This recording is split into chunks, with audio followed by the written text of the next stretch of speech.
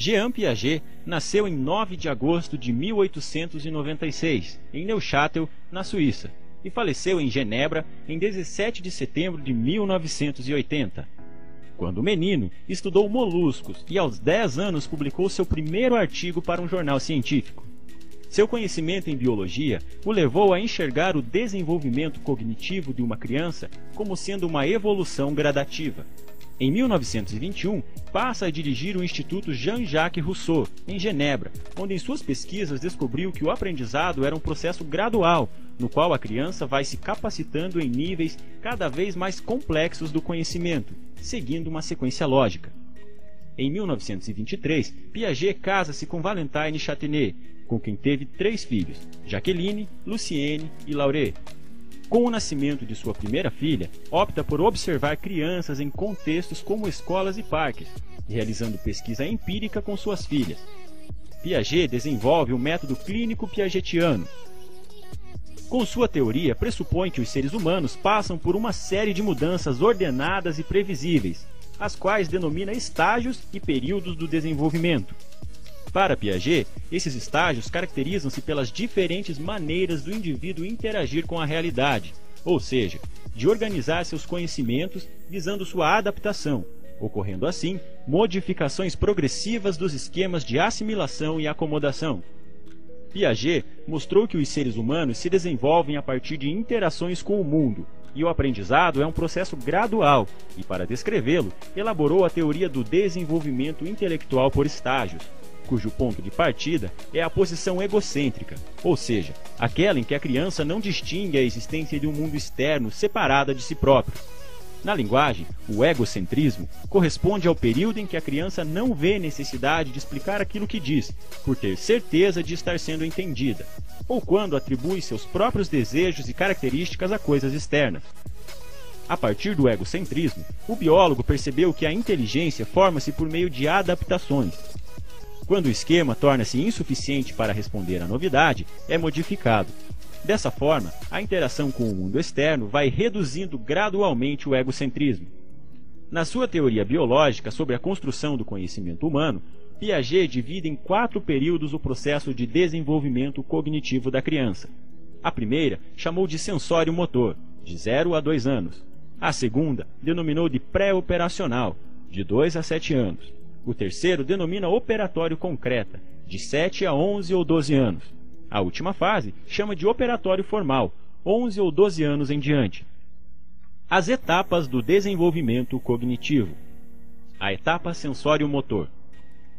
Nessa etapa, que vai do nascimento até aproximadamente os dois anos de idade, a criança baseia-se exclusivamente em percepções sensoriais e em esquemas motores para resolver seus problemas, que são essencialmente práticos. Embora a criança já tenha uma conduta inteligente, considera-se que ela ainda não possui pensamento, pois nessa idade não dispõe da capacidade de representar eventos, de evocar o passado e de referir-se ao futuro. Os esquemas sensório-motores são construídos a partir de reflexos inatos usados pelo bebê para lidar com o ambiente. A partir da construção de esquemas pela transformação da sua atividade sobre o meio, a criança vai construindo e organizando noções, Nesse mesmo período, as concepções de espaço, tempo e causalidade começam a ser construídas, possibilitando à criança novas formas de ação prática para lidar com o meio. A etapa pré-operacional é marcada pelo aparecimento da linguagem oral, por volta dos dois anos, a qual dá possibilidade da criança construir esquemas de ação interiorizados, chamados de esquema representativo ou simbólico. Nessa fase, a criança pode substituir objeto, ações, situações e pessoas por símbolos, que são as palavras. O pensamento pré-operatório recebe também o nome de pensamento egocêntrico, que é um pensamento não flexível, tem como ponto de referência a própria criança. Outras características do pensamento dessa etapa é o animismo, que é a atribuição de sentimentos e intenções às coisas e animais, a percepção imediata, em que a criança tem dificuldades em considerar iguais duas filas compostas com o mesmo número de elementos, porém dispostos em distâncias diferentes. As ações no período pré-operatório, embora internalizadas, não são ainda reversíveis, a criança ainda não é capaz de perceber que é possível retornar mentalmente ao ponto de partida. A etapa operatório concreta. É por volta dos 7 anos de idade que o pensamento lógico e objetivo adquire preponderância. Ao longo dela, as ações interiorizadas vão se tornando cada vez mais reversíveis e, portanto, móveis e flexíveis. O pensamento torna-se menos egocêntrico e a criança é capaz de construir um conhecimento mais compatível com o mundo que a rodeia. O real e o fantástico não mais se misturarão em sua percepção. A etapa operatória formal. A principal característica da etapa operatória formal, por sua vez, reside no fato de que o pensamento se torna livre das limitações da realidade concreta.